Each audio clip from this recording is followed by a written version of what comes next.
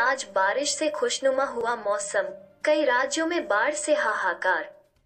Channel पर पहली बार आए। चैनल को सब्सक्राइब करें। राजधानी दिल्ली में हल्की बारिश ने ही लोगों को गर्मी से राहत दी है। मौसम विभाग आईएमडी ने अपने पूर्वानुमान में कल यानी दिसंबर को भी हल्की से मध्यम बारिश रेन होने की संभावना जताई है।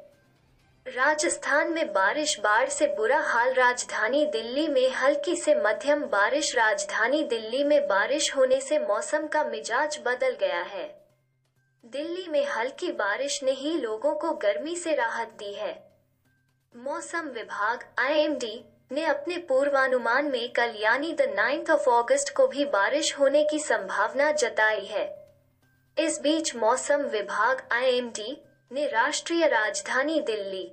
मध्य प्रदेश और राजस्थान के कुछ इलाकों में बारिश होने की संभावना जताई है।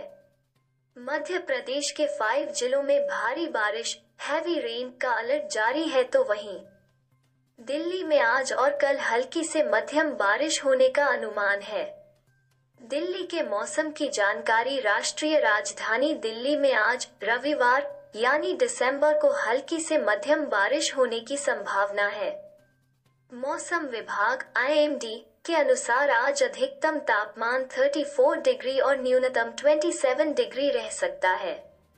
स्काईमेट के अनुसार, इस समय मॉनसून की ट्रफ दिल्ली के साउथ से गुजर रही है।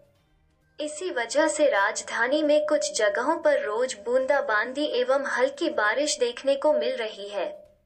मध्य प्रदेश के उत्तर मध्य भाग और इससे सटे दक्षिण उत्तर प्रदेश पर कम दबाव का क्षेत्र बना हुआ है। जबकि मानसून की ट्रफ रेखा बीकानेर, अलवर, ग्वालियर से होते हुए बंगाल की खाड़ी की ओर जा रही है।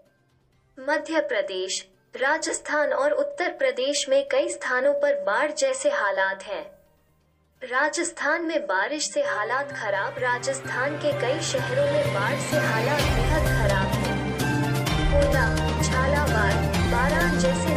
सैलाब की मुसीबत से घिरे हैं।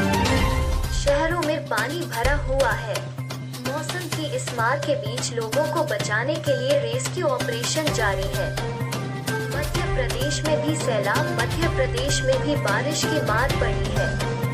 नदियों में आए सैलाब ने गाँवों में तबाही मचा रखी है। कुछ गाँव तो ऐसे हैं जहाँ लोगों की ज़िंदगी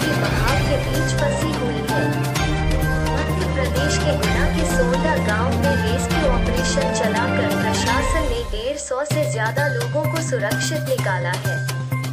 दरअसल, भारी बारिश के बाद पार्वती नदी में आए उफान से पूरा गाँव पानी के बीच घिर गया था। गाँव से निकाले गए लोगों राहत शिविर में रखा गया है। पार्वती नदी में पानी कम होने के बाद ही इन लोगों का गाँव